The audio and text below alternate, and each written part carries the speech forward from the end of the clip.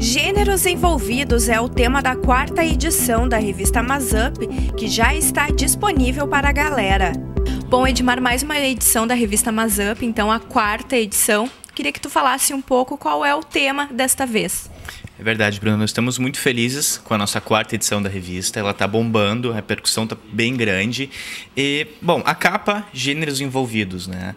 É uma menina no banheiro masculino e por aí já começa a fomentar o furor que a gente tinha como intenção. Né?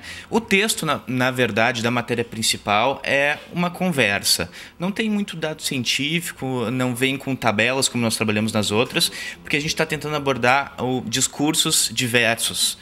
E Nessa é, como eu te falei, é uma conversa com o público sobre a importância dos gêneros, meninos e meninas. É uma divisão clara, inclusive até cita na matéria que quando as crianças nascem, quando a mãe não sabe o sexo, obviamente, a primeira pergunta da mãe é menino ou é menina? Antes mesmo de é saudável, está vivo.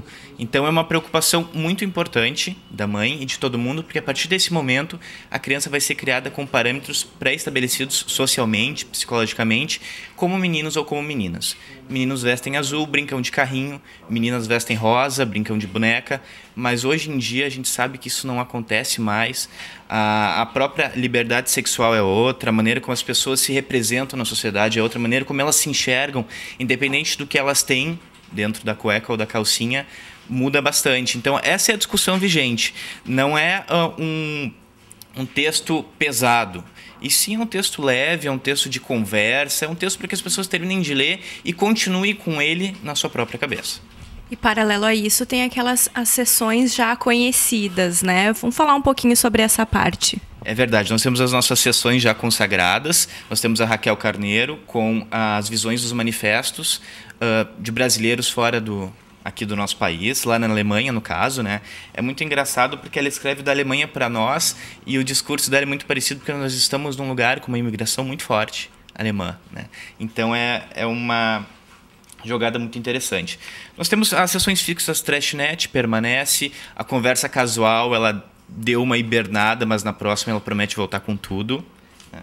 Nós temos o Preciso Disso, com aqueles produtos super interessantes que a gente vê na loja de puxa vida, a gente precisa disso, então a gente faz questão de colocar na revista também.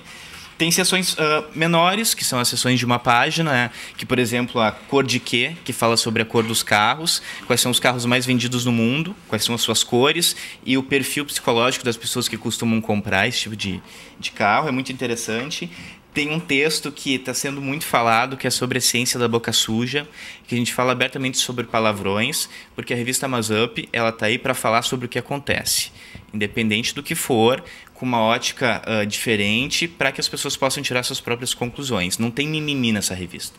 Então a gente falou também dos palavrões, inclusive a gente tem um ranking dos sete palavrões mais falados no Brasil, um site especializado em pesquisas feias, é bem interessante. Tem o Maçanetas do Mal, que nos esclarece por que a gente leva alguns choques, principalmente no inverno, que inclusive aqui no Mazup as pessoas reclamam e falam muito sobre isso. Ah, tô, hoje estou carregado, hoje eu levei um choque, a gente brinca bastante com a situação aqui está a explicação. Porque muito da revista surge a partir das nossas próprias indagações.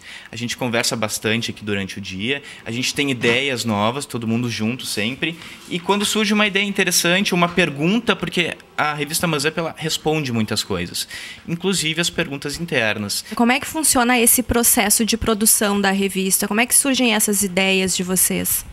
Bom, o processo de produção começa com uma tempestade de ideias que a gente acredita assim, em que a gente primeiro vê a repercussão da revista passada e a partir disso a gente pensa e desenha a próxima edição. Elas sempre são linkadas, assim como aquela da inveja, depois da inveja veio a do medo e a da inveja veio depois da velha rasgada, então que teve um burburinho também. Então a próxima revista, a próxima matéria de capa, vocês podem esperar que vai ter alguma coisa linkada com toda essa polêmica que está acontecendo com a matéria dos gêneros envolvidos. Na contracapa, a revista ainda apresenta a seção Eu Protesto, que segue a onda de manifestações que têm invadido as ruas do país. A ideia é que cada um escreva o seu protesto, tire uma foto e encaminhe para o Mazup. A equipe planeja divulgá-las de uma forma diferente. E quem quiser adquirir a revista pode ter acesso a todos os pontos de entrega no site do Mazup. A Univates é um deles.